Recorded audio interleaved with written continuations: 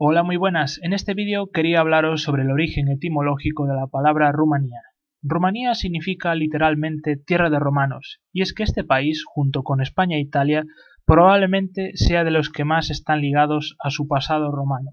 En este primer mapa que os muestro ahora, veis lo que serían las tierras de Rumanía antes de la conquista romana. Estas tierras en su conjunto eran conocidas con el nombre de Dacia y su carácter de frontera con el imperio romano hizo que prácticamente estuvieran en guerra con ellos de forma constante.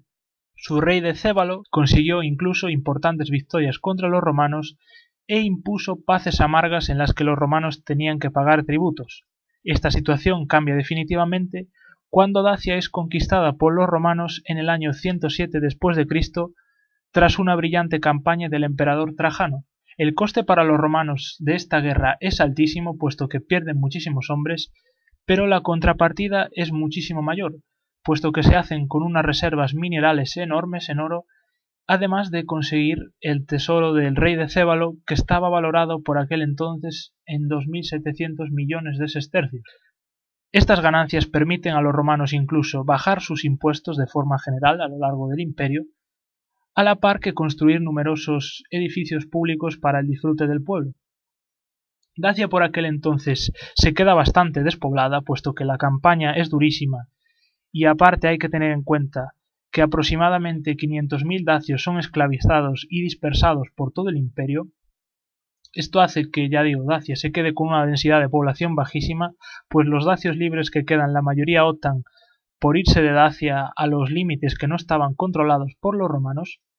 A raíz de todo esto, los romanos fomentan una colonización rapidísima del territorio, colonos de todas las puntas del imperio llegan a Dacia para explotarla económicamente, lo que hace que rápidamente esta tierra se romanice y en unos pocos decenios se convierte en una provincia romana como otra cualquiera. ¿no?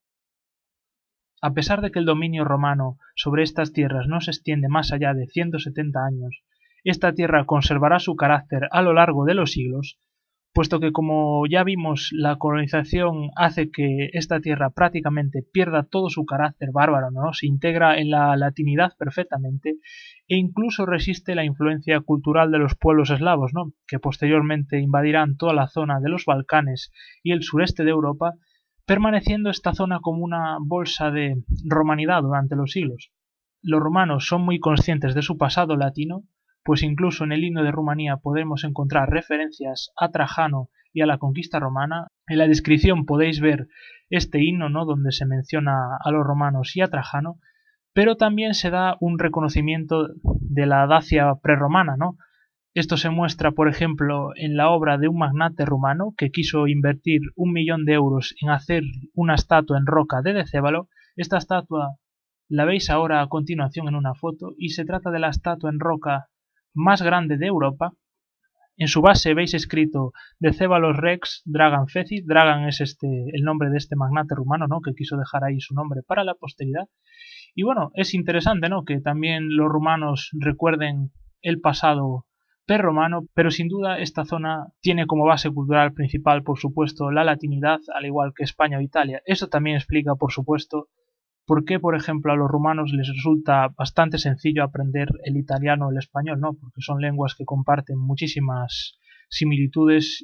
Y bueno, creo que con esto puedo concluir el vídeo. Espero que os haya gustado y nos vemos en el próximo. Un saludo, chao.